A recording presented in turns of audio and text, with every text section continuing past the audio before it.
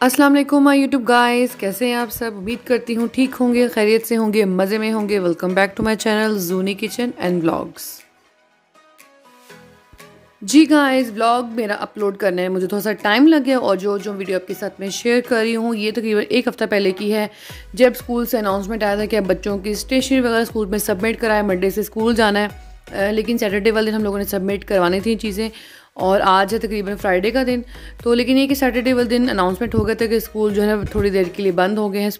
उनमें जो है ना वेकेशन आ गई हैं। मौसम देखिए बहुत अच्छा हो रहा था, हम लोग बाहर निकले तो मतलब जो होता है ना, दिल बाग बाग हो गया था हमारा तो बहुत मज़े का मौसम हो गया था। अदरवाइज़ थोड़ा सा मौसम चेंज हो रहा था, लेकिन बारिश हुई है तो मतलब अच्छा लग रहा था। और ऐसे गरज चमक के साथ हो रही थी कि मतलब मज़ा ही आ गया। बहरहाल जी, हम यहाँ पे आए हैं बच्चों की बुक्स लेने के लिए और आज मैं एक बात आपसे कहना चाहूँगी कि मेरी जो फ़र्स्ट प्रायोरिटी है वो मेरे बच्चे हैं।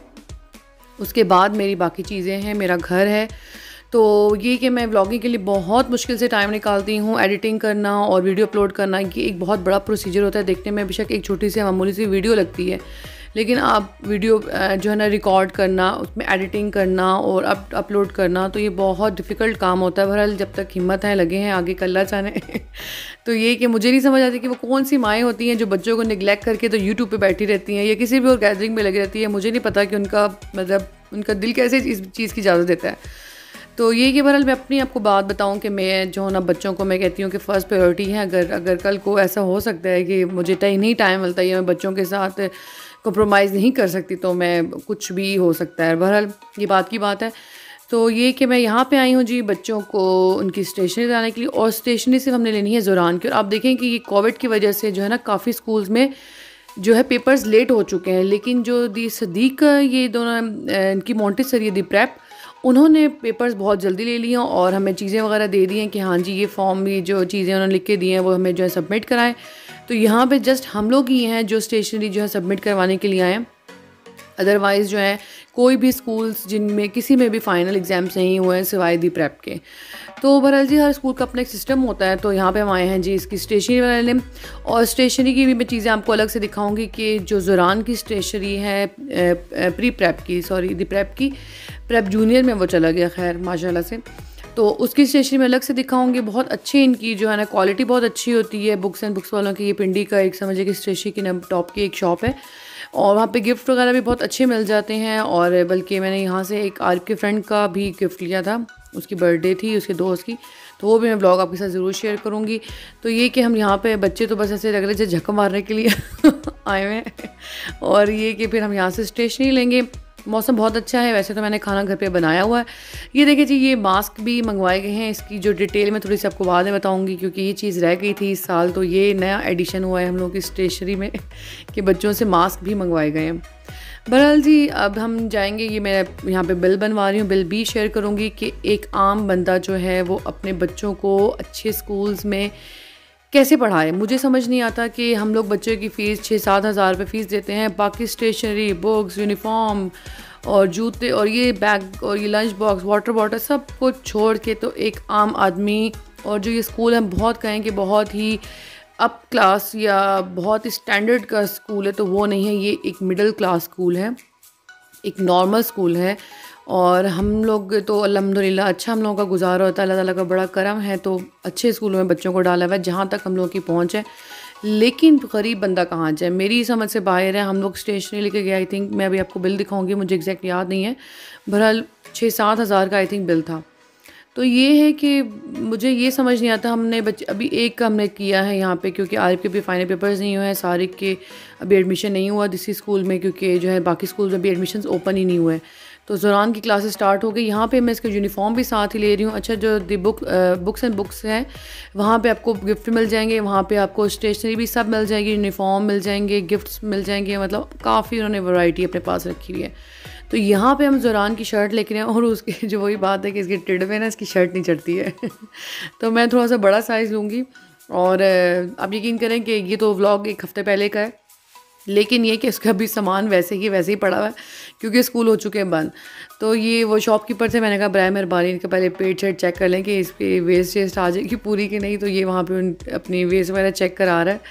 तो देखते हैं कि अब इसको थोड़ा सा बाय साइज़ बड़ा ही जो उन्होंने निकालते हैं, वो तो बहुत छोटा साइज़ निकालते हैं, बहरहाल मैंने इनको कहा थोड़ा बड़ा निकालें, क्योंकि कोई पता नहीं इसके दो महीने बाद टेडी शेड की तरफ़ पहुँचेंगे तो माशा तो ये कि इसका हम यहाँ पे यूनिफॉर्म ले रहे हैं शूज़ इसके अभी नहीं मैंने लिए, क्योंकि इसके शूज़ जो है ना अभी, बारिश ही तो मैंने कहा जब स्कूल खुलेंगे तो मैं फिर तब साथ ही ले लूँगी। बैग इसका ऑलरेडी था तो मैं आपसे मैं ज़रूर शेयर करूँगी क्या डिटेल है। यहाँ पे हम इसकी वेस्ट ले रही हूँ, ये भी एक ही पैकेट में तीन थी, ये मैंने ले ली थी, इसकी डिटेल में बताऊँगी आपको आगे जाके। तो यहाँ पे हम इसके जो है ना, वो स्कूल के कुछ चीज़ें वगैरह ले रहे हैं और यहाँ पे हम चीज़ें मुकम्मल करते हैं देन बताते हैं कि आगे क्या होता है।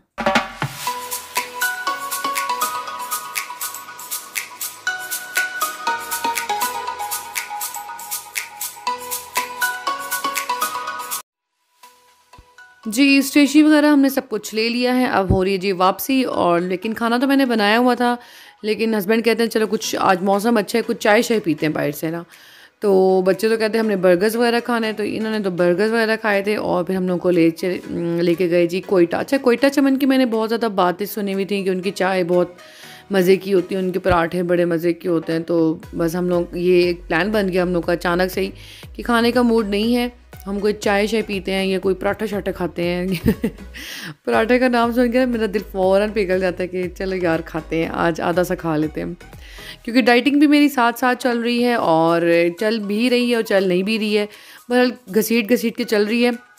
इंशाल्लाह आपको नेक्स्ट व्लॉग में बताऊँगी कि मेरा वेट कहाँ तक पहुँचे और रमज़ान में अपना मैंने एक टारगेट सेट किया है, वो इंशाल्लाह नेक्स्ट व्लॉग में आपको बताऊँगी। और ईद तक मैंने अपना कितना वेट करना है, ये भी आपको नेक्स्ट व्लॉग में बताऊँगी। ठीक है जितना मज़े का मौसम था, सोचा कि उन्हें चाय पी जाए तो साथ ही जी कोयटा सुपर शानदार कैफ़े था और ये बिल्कुल मरी रोड पर मेन रोड पर था। तो सोचा बस गाड़ी में बैठ के हम लोग बाहर ही निकलते क्योंकि फैमिली का इतना अच्छा सिस्टम नहीं होता यहाँ पे। पर इनका पराठा मैंने खाया, मुझे पराठा वाकई बहुत पसंद आया, जो जिसका मैंने ज़िक्र सुना हुआ था कि हाँ जी, यहाँ का पराठा बहुत अच्छा है। लेकिन इनकी चाय मुझे उतनी मतलब मज़े की नहीं लगी जितनी मुझे आम हम लोग होटल वगैरह में पीते हैं या किसी भी ढाबे वगैरह से पीते हैं।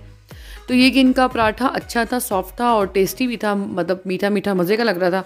लेकिन ये कि इनकी चाय मुझे ख़ास पसंद नहीं है, लेकिन वही बात है डूबते को तिनके का सहारा कि मौसम अच्छा था तो अच्छी थी। तो ये कि हम लोगों ने यहाँ पर बस चाय शाय पी है, पराठा शराठा खाया है, बच्चों ने खाए हैं बर्गर्स और फिर इसके बाद हम चले गए हैं घर।